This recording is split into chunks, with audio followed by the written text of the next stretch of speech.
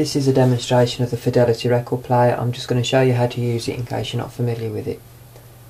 When you receive it, the first thing you'll need to do is to screw down the two transit screws on the deck, here and here, and screw those all the way down so that the deck floats on its springs. And there'll also be a little protective cover fitted over the stylus. The two main control knobs are on the front, the top one turns it on and off and is also for the volume and the tone knob is the bottom. So I'll just demonstrate with a few records so you can see it play. On the right hand side here you've got your speed and size selector 12 inch 33 or 7 inch 45 and start the auto changer, flick the switch down to auto.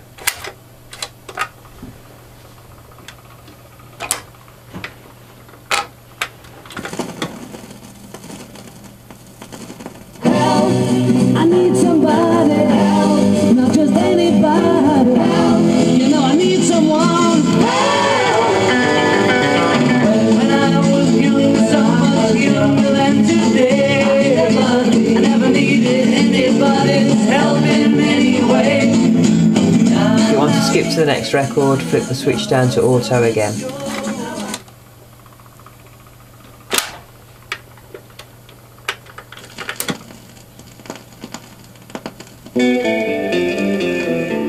One comb, one key, two nickels, but gee, where is it? Where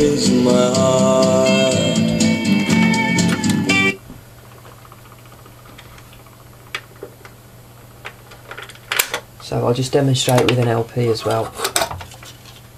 Just pop that to 33.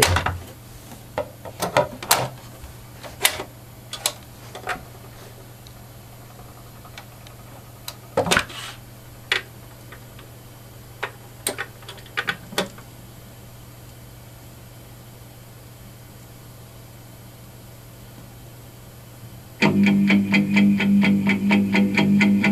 Try and I try, but I can't say goodbye.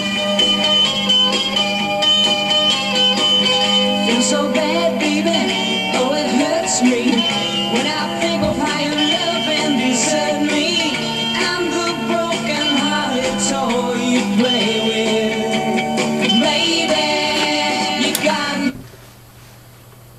If you don't want to use the auto changer at all and you just want to play one record manually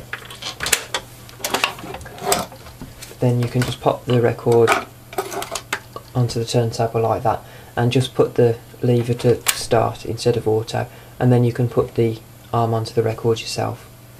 Once the arm's on the record, if you leave the stacker bar in the upright position like this then the record will repeat over and over again or if you want it to switch off when it gets to the end you put the bar across. So I hope that covers everything but if you do have any questions when you receive it obviously you can send me a message through eBay.